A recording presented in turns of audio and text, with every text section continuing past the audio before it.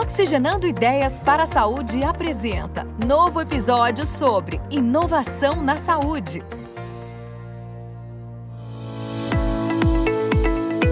Olá, seja muito bem-vindo ao podcast Oxigenando Ideias para a Saúde. Eu sou Eduardo Mangione, CEO da eFarma, e convido você para se conectar às tendências e novidades junto aos protagonistas que estão transformando o mercado de saúde no Brasil.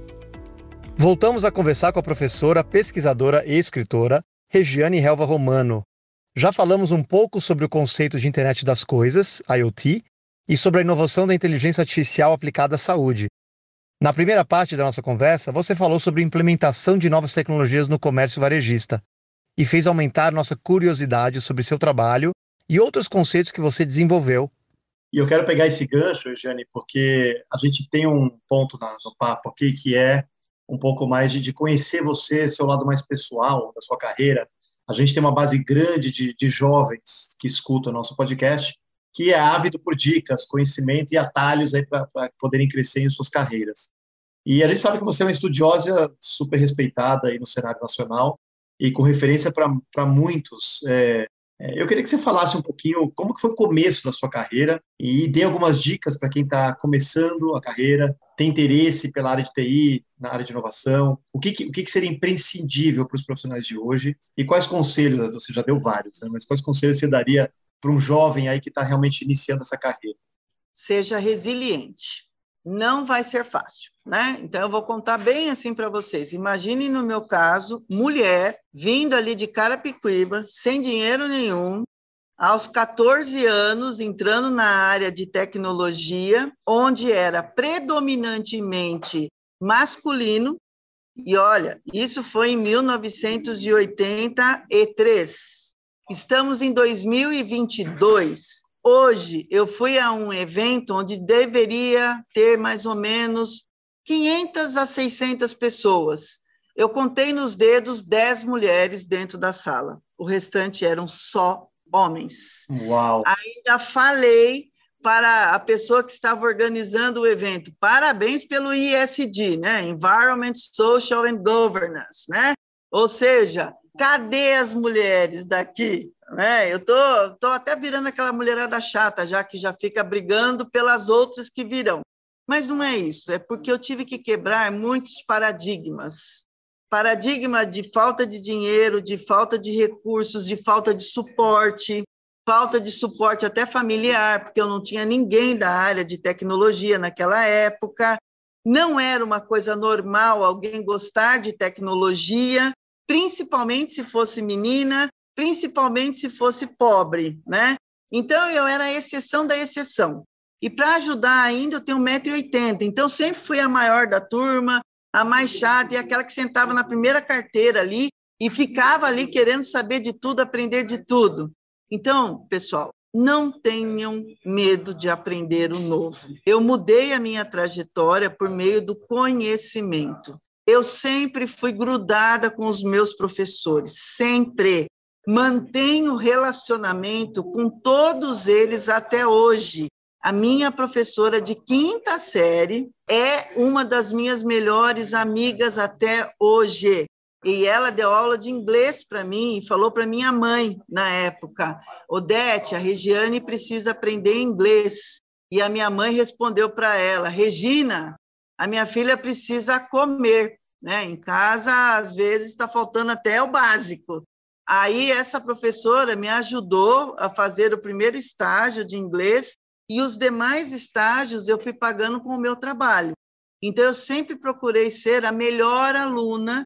Não é que eu sou inteligente, não, muito pelo contrário. Eu ralo mesmo. Então eu fico estudando. Até hoje o meu dia é esticado. Eu trabalho de 14 a 18 horas por dia, todos os dias. Eu já disse que eu amo estudar, eu amo me relacionar, essa é outra dica, né? Procurem ter bastante relacionamento em todos os lugares por onde vocês passarem. Deixem sempre as portas abertas. O meu primeiro chefe, que me adotou aos 14 anos, eu falo com ele diariamente. Ele é o dono da casa do notebook, o Castanho, Antônio Paulo de Melo Castanho, eu tenho uma gratidão eterna por tudo que ele fez por mim.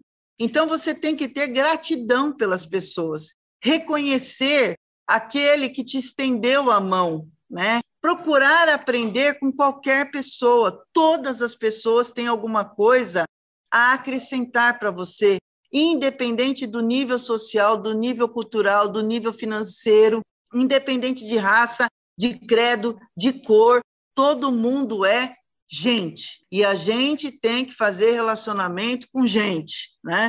Então, eu procuro manter muito próximo os meus amigos, eu, eu procuro ajudar. Esta é outra palavra mágica.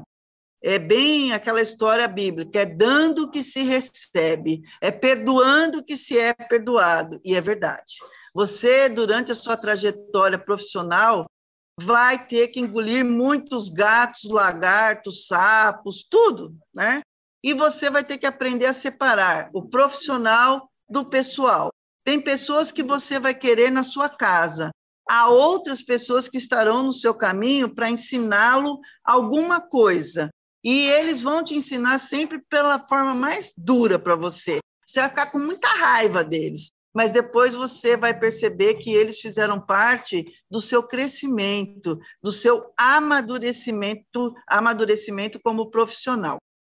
Então a dica é: estude bastante, participe de diversos grupos do Brasil e do mundo. Na minha época eu não tinha isso, era tudo analógico. Hoje não. Vocês estão a um clique de distância de qualquer conhecimento entrem no LinkedIn, participem dos grupos, participem de. É, tem lá uma live, vai participar da live. Ah, mas não tem nada a ver comigo. Se chegou até você essa live, é porque algum tijolinho ele vai ter na construção do seu caminho. Então, pegue esse tijolinho e incremente mais esse tijolinho na sua construção da sua carreira. Então, eu participo de grupos ecléticos, eu olho tudo. Até isto me ajudou muito no meu novo trabalho, que é a construção de uma cidade inteligente. Então, veja, eu saí de lá fazendo portaria, cuidando da parte de lojas, fazendo loja inteligente e vim parar na construção de uma mini cidade inteligente. Aqui eu tive que saber energia, meio ambiente, saúde e qualidade de vida, indústria e negócios, mobilidade e segurança, governança, urbanização, gestão, tudo que eu fui aprendendo ao longo do caminho me serviram de base para saber, nossa, isto daqui eu já ouvi em algum lugar. Quem é o melhor cara disto para me dar algumas dicas? E aí eu ia para a internet, passava o óleo de peroba, pedia para ser amiga da pessoa, seguia todo mundo lá mesmo, e ele falava assim: ah, hoje tem live, eu estou lá. Amanhã eu não. Ah, eu também vou. Ah, depois eu, eu também estou lá, entendeu? Então, façam relacionamentos duradouros, mas trocando. Não é só para você, você também tem que doar. É doar e receber. A vida é uma troca. Então a gente tem que aprender a trocar. Muito bom. Acho que não existe atalhos, né? Essa não existe também atalhos. dentro da sua mensagem está muito claro. É tem que ralar muito, tem que ir atrás. Hoje não tem desculpa para não estar tá conectado, para não estar tá curioso, para não aprender é, as, os que a gente chama dos buzzwords, né? As coisas que estão nascendo, estão crescendo. A gente precisa rapidamente dominar esses conceitos. Excelente. É o que eu falo para minha filha sempre: filha, a vida não tem atalhos. É, e hoje é. a Beatriz, a menina que me faz feliz, está com 22 anos, com duas faculdades concluídas, com uma pós-graduação concluída, com uma clínica dela já, Olha e só. trabalha oito horas por dia. E ela fala: mãe, eu não vou estudar. Eu falei: esse, esse termo não existe em casa. Não vai estudar, é muito complexo. Então, você terminou a pós-graduação, Agora, em junho, o que é que nós vamos fazer em agosto, Exatamente. setembro, meu bebê? Vamos embora, vamos estudar. Perfeito, perfeito. E do jeito que o mundo está andando rápido, né, a gente vai ficar desatualizado muito rápido. Então, é, acho que o ponto é excelente. Mas eu queria pegar um gancho no, no que você comentou de SG, né? É, sustentabilidade. E existe alguma fricção, talvez, entre o conceito de inovar, principalmente com tecnologia, e sustentabilidade? Para você, como inovações tecnológicas e rápidas transformações podem caminhar de mão dada com a sustentabilidade? Qual o caminho para essa fusão de é. conceito? É pensar na cadeia inteira, né? Então, por exemplo, todo mundo agora está falando do carro elétrico. Ah, lindo o carro elétrico, vai poluir menos. Ah, não sei o quê. Ah, é? O que é que você vai fazer com a bateria do carro elétrico? Onde é que você vai carregar este carro? Então, aqui no Brasil, como nós temos uma matriz limpa, ok, mas e os outros países que as matrizes não são tão limpas assim? Você carregar um carro elétrico tendo uma fonte de energia não renovável, você também não está resolvendo o mundo. Então, hoje, nós temos que pensar nos três segmentos, né? No environment, quer dizer, no meio ambiente, no social, no social e na governança disso tudo, com logística reversa, com reaproveitamento de todos os materiais que você vai descartar. Nem tudo que a gente coloca dentro das nossas cestas, né, de lixo são lixos, são resíduos. É uma diferença muito grande entre lixo e resíduo. Também aprendi aqui na cidade inteligente, viu, gente? Porque lá na Vila Lourdes a gente descartava tudo no rio mesmo. Então, dava enchente, pegava tudo que sobrou da enchente e jogava no rio. Quem mandou invadir as nossas casas? É. Hoje, quando eu olho para trás e vejo tudo que eu via, que eu fazia, né, por pura ignorância, no sentido da palavra, de ignorar o que é correto, você precisa aprender a aprender para evitar que você construa problemas. Então, quando a gente vai fazer uma tecnologia hoje, ou quando a gente vai pensar em fazer alguma coisa para fazer uma gestão na cidade inteligente ou num complexo inteligente, como é o caso de um hospital, uma farmácia, um shopping, você sempre tem que pensar qual é o problema que eu estou resolvendo e qual é o problema que eu estou gerando para o futuro, com o descarte desse material, com o reaproveitamento desse material. E é por isto que a educação é a base de tudo. Porque é lá na educação, é lá na pesquisa básica que você vai estudar novos materiais, que você vai estudar novas fontes de energias renováveis, você vai procurar resolver problemas pensando no hoje, no daqui a pouco e no amanhã também. Então, é por isso que eu sou encantada com a educação. Né? Eu acho que a educação é a única forma que você tem de transformar uma sociedade. É a única forma de você converter essas ideias em soluções que sejam realmente ecologicamente corretas e que sejam integradas no sentido da palavra. Você tem que integrar todo mundo. Ninguém pode ficar de fora. Então é Perfeito. é nisso que eu Perfeito. estou trabalhando atualmente. Bem-vindos ao admirável mundo novo. É isso aí. A gente tem que pensar no, no, nas consequências das nossas ações, não só do, do imediatas, mas do futuro. E Regiane, agora vou mudar um pouco a, a, a marcha aqui e é a hora do nosso jogo rápido. É um, é um bate-bola que a gente costuma fazer de perguntas e respostas rápidas para a gente conhecer você um pouco mais é, como pessoa e seus gostos pessoais, tá? Então, assim, para responder o que vier na cabeça, jogo rápido, tá bom? Beleza. Então, vamos lá. Então, pr primeira pergunta. Qual série você viu ultimamente e, e indicaria para os nossos ouvintes? Black Mirror, né? Que é aquela série que você já está no futuro, mas já está aqui. Então, aquilo lá não é futuro, aquilo lá já é realidade. Espetacular, adoro. É, qual filme que marcou sua vida? O Menino do Pijama Listrado. Isto porque a doida que vos fala foi parar lá na Cracóvia para dar uma palestra e eu fui fazer um passeio, né? E no passeio eu não entendi para onde eu ia, porque eu não entendi o que a mulher falou, e eu fui parar em Auschwitz, exatamente onde o menino do pijama listrado foi gravado. E ali eu vi o outro lado da tecnologia, o outro lado da ciência, o lado negro de tudo que a gente faz, porque toda essa parte de tecnologia é uma arma. Eu posso usá-la tanto para o bem quanto para o mal, assim como a inovação. Excelente. Essa pergunta aqui eu vou ter muita curiosidade para quem tem seis pós-graduações e tanto estudo como você, mas qual que é o livro que você tem hoje de cabeceira que você recomendaria para a gente? Ai, gente, além do monte de livro técnico, né? Porque eu sou Caxias, eu leio muita coisa mais técnica do que assim. Mas a, a estratégia do Oceano Azul, eu acho que é um que todo mundo tem que enxergar para você ver, olhar para onde ninguém está olhando, que isso é a inovação. Excelente, é um, é um livraço. Uma excelente leitura. E qual é o maior desafio que você hoje enxerga na saúde? A integração. Né? Nós temos muitas coisas desintegradas. Então, contando aí do meu médico, é, hoje eu estava lá, eu tinha acabado de passar no mesmo hospital com dois especialistas. Eles me fizeram as mesmas perguntas, me pediram os mesmos exames, fizeram tudo com prontuário eletrônico desintegrado. Né? Então, o maior desafio da medicina e da área de saúde é a integração. E ó, fica já algumas dicas de fricção né, na jornada do paciente. Excelente. Ninguém sabe melhor do que o paciente, do que o consumidor, né? Exatamente. E escolha um dos dois, human ou tech, e por quê? Human, lógico.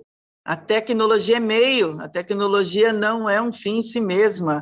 Nós temos que focar tudo no ser humano, pelo ser humano, para o ser humano. Senão não existe nada, nada, nada, nada. Tem que ser em benefício da humanidade.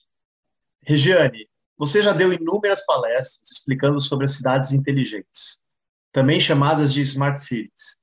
Elas usam a tecnologia de modo estratégico para melhorar a infraestrutura, otimizar a mobilidade urbana, criar soluções sustentáveis e outras melhorias necessárias para a qualidade de vida dos moradores. Você tem como explicar esse conceito de smart cities para nós e por que isso é tão importante para todas as áreas de cadeia produtiva?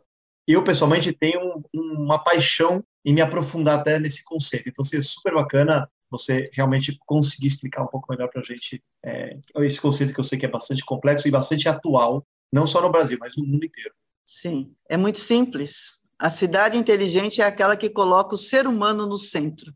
E, a partir das suas necessidades, ela utiliza ou não tecnologia da informação e comunicação. O resto são cidades digitais. Então, nós temos duas escolas aqui, a escola americana e a escola europeia. A americana, ela já olha muito mais para a parte de conectividade, de sistemas, de soluções tecnológicas. Já a escola europeia tem um olhar mais holístico, então ela coloca realmente o ser humano no centro e ela olha os aspectos sociais, ambientais, culturais, é, profissionais e também tecnológicos. E para deixar bem claro o que, que é uma cidade inteligente, eu jamais vou esquecer de uma palestra que eu assisti em Dubai, em 2019, no Smart City Expo Barcelona. Existiam duas senhoras no palco, uma de Dubai e a outra da África. A de Dubai dizia: Dubai é uma cidade inteligente. Dubai tem blockchain, Dubai, Dubai tem toda a mobilidade conectada. Dubai tem um aplicativo que você faz tudo a um clique de distância. Então, Dubai é uma cidade inteligente. A senhora da África, com aquela, aquele sorriso, aquela cara feliz, apesar de todos os problemas que nós sabemos que eles têm, vira e fala: ah, mas a minha aldeia é uma aldeia inteligente. Desde que eu instalei um banheiro na aldeia, as crianças pararam de morrer. Eu consegui melhorar o nível educacional. Então, a minha aldeia é uma aldeia inteligente. Vai dizer que não é? Então, de novo, uma cidade inteligente precisa olhar para as necessidades das pessoas que residem ali. Então, esta cidade precisa priorizar aquela localização, e ela é local de novo, é global, pensando global e agindo local. Exemplo, eu moro em Barueri, lá nós temos uma série de bairros. Você tem um bairro que é Alphaville. Você não pode comparar as necessidades das pessoas que residem em Alphaville com as pessoas que residem na periferia. Não dá para comparar, né? Então você tem que olhar para cada bairro da sua cidade, entender as necessidades e fazer um plano municipal integrado atendendo a toda a sua população. Você falou que você gosta disso, então já vou convidar você e todos os ouvintes. Eu sou coordenadora do MBA de Gestão e Inovação em Cidades Inteligentes da Facens. E lá nós temos exatamente nove eixos que suportam o nosso MBA, que foram os nove eixos definidos aqui como o, toda a parte de estrutura do Living Lab que nós temos na Facens de Cidades Inteligentes. Então, nós temos um laboratório vivo, onde nós aplicamos todos os dias o conceito de cidades humanas, inteligentes e sustentáveis. Colocamos em prática as 17 objetivos, 17 objetivos de desenvolvimento sustentável da ONU e também dos conceitos do ISD. E aí o MBA, ele tem então nove disciplinas a disciplina de Educação, Cultura e Artes, de Energia, Indústria e Negócios, Meio Ambiente, Mobilidade e Segurança, Saúde e Qualidade de Vida, Tecnologia da Informação e Comunicação, Urbanização e a Governança. Esta governança, você no final do curso vai ter que escolher uma cidade e aplicar na prática esses conceitos de acordo com a vocação daquela cidade e olhando os grandes bairros para verificar o que é que eles precisam, porque eles são diferentes. Cada bairro vai necessitar de alguma coisa. E a parte mais legal é que isto já está sendo usado. Por exemplo, a prefeita atual de Votorantim entrou no curso quando ela era vereadora e ela fez todo o plano de governo dela dentro do curso olhando essas áreas. E hoje ela se elegeu como prefeita, né? E ela está implementando isso na cidade dela e transformando Votorantim numa cidade mais humana, mais inteligente e mais sustentável. A base é a educação. Olha que exemplo bacana. Você sabe que, que passou pela minha cabeça quando estava conversando agora, comentando sobre cidades inteligentes poxa, por que, que o governo, por que, que a gente não vê mais né, desses conceitos entrando no governo, colocando em prática, sendo colocado em prática tá, pelo Brasil?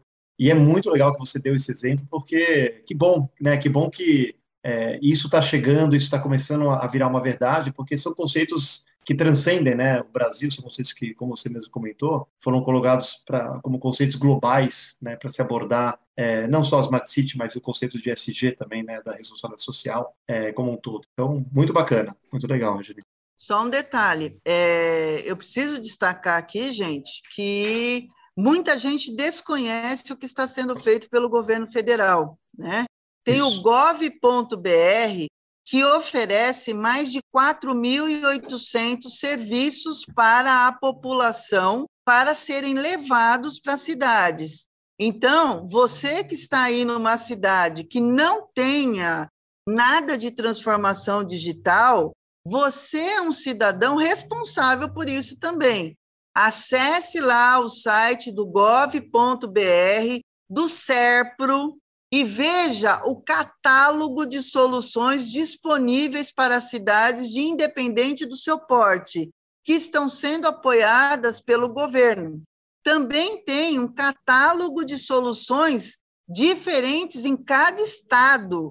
Ou seja, o gestor público hoje não tem como dizer que ele não tenha ferramentas para trabalhar, porque nós temos sim uma série de ferramentas que estão sendo disponibilizadas e que eles podem aderir a estas ferramentas para melhorar os serviços e, consequentemente, a qualidade de vida dos seus cidadãos.